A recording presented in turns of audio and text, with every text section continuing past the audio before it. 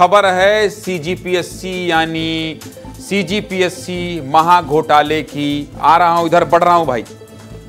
CBI जाँच शुरू हो गई। सीबीआई जाँच शुरू हो गई। और ये सीजीपीएससी का घोटाला क्या है, कैसे है, क्यों है, कौन इसके पीछे है, कितने किरदार हैं, ये जो नाती, पोते, भाई, बहन, बहनोई, सब इधर उधर शिफ्ट किए गए हैं। कैसे किए गए हैं? और सीबीआई जाँच क्यों कर रही है? कल पहुँची है क्या क्या मिला है? और जो मुख्य किरदार हैं, जिनका नाम है रिपोर्ट में, वो क्या कर रहे हैं? धड़कन तो बढ़ ही गई है। सब कुछ जानना, समझना है तो चलिए खबर बता देता हूँ आपको। अफसर बनने का सपना पूरा करने के लिए युवाओं को खुली आँखों से सपना देखना पड़ता है, क्योंकि इनके पास सिलेबस में इतने चैप्टर होते हैं कि रात में सोने का समय ही नहीं मिलता है। सरकारी नौकरी में एक एक नंबर के लिए बहुत कंपटीशन है भाई साहब, बहुत कंपटीशन है। दिन रात पढ़ना पड़ता है, सब कुछ छोड़ना पड़ता है। उस समय छोड़ना पड़ता है जिस समय आपके मस्ती करने के, खेलने के, खाने के, दोस्तों के साथ पार्टी करने के दिन होते हैं। लेकिन उसी समय आपको ये सब करना पड़ता है, ये त्याग करना पड़ता है अपने दोस्त यार से भी आगे निकलने के लिए। घर परिवार के सभी खुशियों वाले त्योहारों को छोड़ना पड़ता है।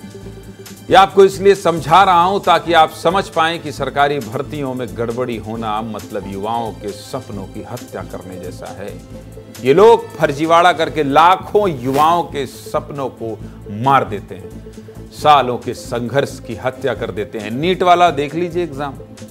कितने परेशान है, कितने परेशान है लोग। आपको याद है ना, तीन साल पहले छत्तीसगढ़ में भी युवाओं के सपने को कुचला गया था, कुचला गया था। वही पीएससी घोटाला जिसमें टॉपरों के मेरिट लिस्ट में गड़बड़ी हुई। देख लीजिए इस लिस्ट को। दिखा दीजिए, मेरे बगल में आप देख रहे हैं, कई अधिकारियों के बच्चे खुद अधिकारी बन गए। ओम बिरला लोकसभा अध्यक्ष हैं।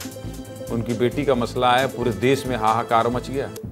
और छत्तीसगढ़ में अधिकारी नेता के रिश्तेदार अगर बनेंगे अधिकारी, सवाल नहीं उठेगा।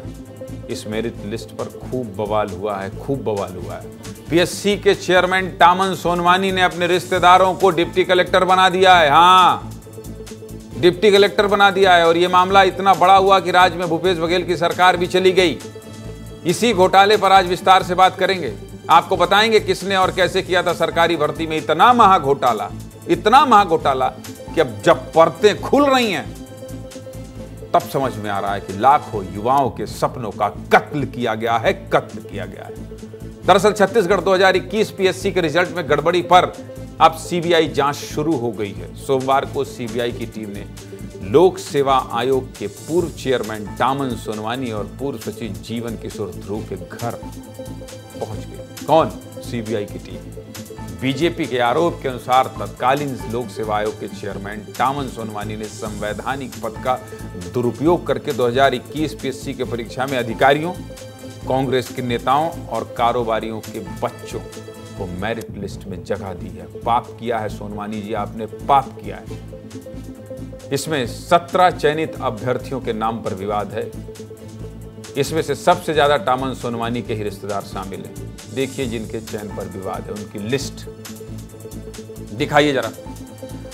पीएससी के तात्कालीन चेयरमैन टामन सोनवानी के कितने रिश्तेदारों का लिस्ट में नाम था वो भी देख लीजिए। सबसे पहला नाम सोनवानी जी के बेटे का है। बेटा नितेश, जिसका सरनेम छिपाया गया। ये भी डिप्टी कलेक्टर के लिए चुन ली बेटे के बाद बहुरिया का नाम है, निशा कोसले। ये भी डिप्टी कलेक्टर पद के लिए चयनित हुई थी। बड़े भाई का बेटा साहिल, ये डीएसपी के लिए चयनित हुए। भाई की बहू दीपा आदिल भी जिला आबकारी अधिकारी के लिए चयनित हुई। बहन की बेटी सुनीता जोशी भी श्रम अधिकारी के लिए चयनित हुई बड़े पढ़े लिखे हैं आपके घर में। बड़े प्रतिभाशाली लोग हैं भाई। इतने रिश्तेदार मेरे घर में, मेरे घर में मैं एक पत्रकार बना और मैंने कहा भाई कोई सरकारी नौकरी में भर दो। सरकारी नौकरी में भर दो, कोई सरकार, कोई सरकारी नौकरी नहीं पाया। और ऐसा नहीं है कि मेहनत नहीं किए, खूब पढ़े, नौकरियाँ नहीं मिल रही। और यहाँ रिश्तेदार दाएँ भी रिश्तेदार, बाएँ भी रिश्तेदार, ऊपर भी रिश्तेदार, नीचे भी रिश्तेदार। इतने प्रतिभाशाली रिश्तेदार हैं आपके गुरु। बेटा, बहू सब बुद्धिमान। मतलब एक साथ तामन सोनवानी के घर छप्पर फाड़ के अधिकारी हो गए। एक किसी के यहाँ पटवारी हो जाए, तहसीलदार हो जाए तो लगता है अधिकारी बन गए। यहाँ अधिकारी अधिकारी अधिकारी अधिकारी। और सिर्फ़ अधिकारी टामन सोनवानी के घर ही नहीं बने। दूसरे अधिकारियों के बच्चे भी सीजीपीएससी की परीक्षा के नतीजे आए तो अधिकारी बने थे। राज्यपाल के सचिव अमृत खलको की बेटी नेहा खलको और बेटे निखिल खलको का चयन डिप्टी कलेक्टर के लिए हुआ। कांग्रेस नेता को एसडी के रिश्तेदार की बेटी प्रज्ञा नायक डिप्टी कलेक्टर और बेटा प्रखर नायक वित्त सेवा अधिकारी पद के लिए चयनित हुए कांग्रेस नेता सुधीर कटियार की बेटी। भूमिका कटियार और दामाद शशांक गोयल डिप्टी कलेक्टर के लिए चयनित हुए। इसके अलावा और नाम देख लीजिए। कई नेताओं और अधिकारियों के बेटा बेटी दामाद रिश्तेदार एक साथ है डिप्टी कलेक्टर बन गए।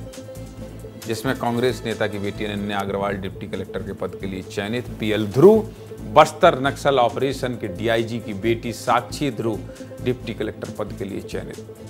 कांग्रेस नेता के ओएसडी के साढ़ू भाई, अरे भाई। गजब पट वृक्ष।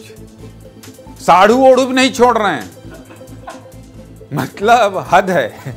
ये भ्रष्टाचार भाई। रिश्तेदारी में भ्रष्टाचार ही है ये साढ़ू, ननद, भौजाई सबके लोगों को आप इस तरह से कर देंगे, जिनको नहीं रखेंगे, वो बिगड़ जाएँगे। वो गुस्सा जाएँगे, कह देंगे, हम क्या बिगाड़े थे? हमारा एको नाती नहीं रखा आपने।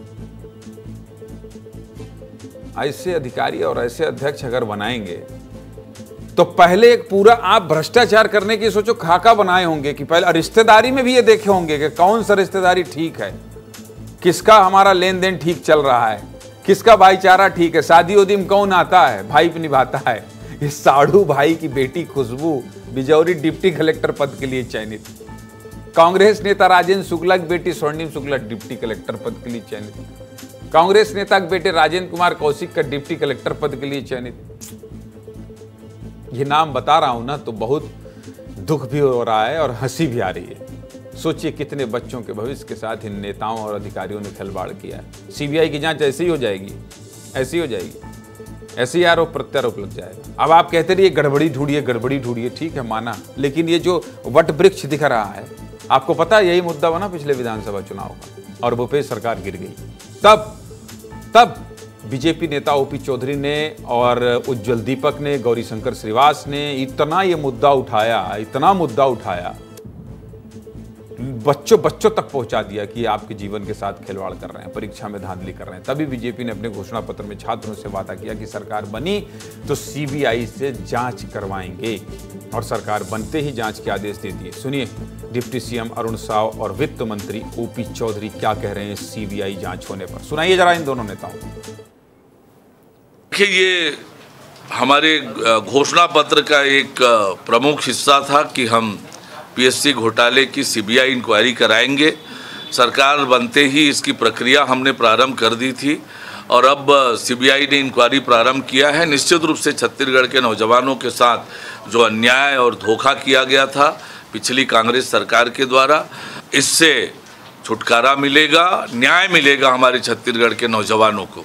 हमने जैसा कि वादा किया था, सीबीआई सीबीआई जाँच की जाएगी पीएससी की वह भी किया जा रहा है। सभी भर्तियों को पारदर्शी बनाने के लिए विष्णुदेव साय जी के नेतृत्व में हमारी सरकार के अलग अलग विभाग काम कर रहे हैं। आने वाले समयों में कांग्रेस के पाँच सालों की तुलना में कई गुना ज़्यादा भर्ती भी होगी और ईमानदारी और ट्रांसपेरेंसी के साथ विष्णुदेव साय जी के नेतृत्व में सरकार भर्ती करेगी। बिलासपुर में बहुत बच्चे तैयारी करते हैं। मैं बिलासपुर गया था। जब ये पूरा मुद्दा उफान पर था तो मैं बिलासपुर गया था। आक्रोशित थे बच्चे। एक एक बच्चे दुखी थे, परेशान थे। देखिए, रात दिन मेहनत करते हैं, घर को छोड़ के छोटे छोटे कमरे में रहते हैं। कभी खाना बना लेते हैं, कभी मैगी खा लेते हैं। और पूरी ताकत झोंकते हैं कि कंपटीशन एग्ज़ाम में पास हो जाएँ अफसर बन जाएँ। और यहाँ चाचा, काका, नाना, फूफा, फाफी, जितने लोग हैं, इनके सबके बच्चों को बना रहे हैं आप। ये मत करिए भाई, ये गलत है। खैर, जाँच हो रही है। जब तक जाँच ना हो जाए, तब तक किसी निष्कर्ष पर पहुँचना ठीक नहीं है, लेकिन आरोप तो हैं। सीबीआई ने एफआईआर तो दर्ज की है, और जो जाँच हो रही है, उसके आधार पर यह विश्लेषण मैं कर रहा था। घोटाले की पूरी कहानी तो आपने समझ लिया। अब आपको पीएससी के पूर्व चेयरमैन टामन सिंह सोनवानी के बारे में बताएँगे। जिनके ऊपर यह आरोप लगा है, कौन है टामन सिंह सोनवानी जिसने लाखों युवाओं के मन में पीएससी के प्रति विश्वास को तोड़ा है? बहुत बड़ा खुलासा करने वाले हैं। बहुत बड़ा खुलासा करने वाले हैं। कल आठ बजे आठ बजे चिपक जाइएगा विस्तार न्यूज़। बहुत बड़ा खुलासा करेंगे। साम्राज्य क्या है? कैसे इस पूरे घोटाले को अंजाम दिया गया? क्या क्या आरोप लगे? दस्तावेज़ के आधार पर एक एक खबर आपको दिखाएँगे और बताएँगे।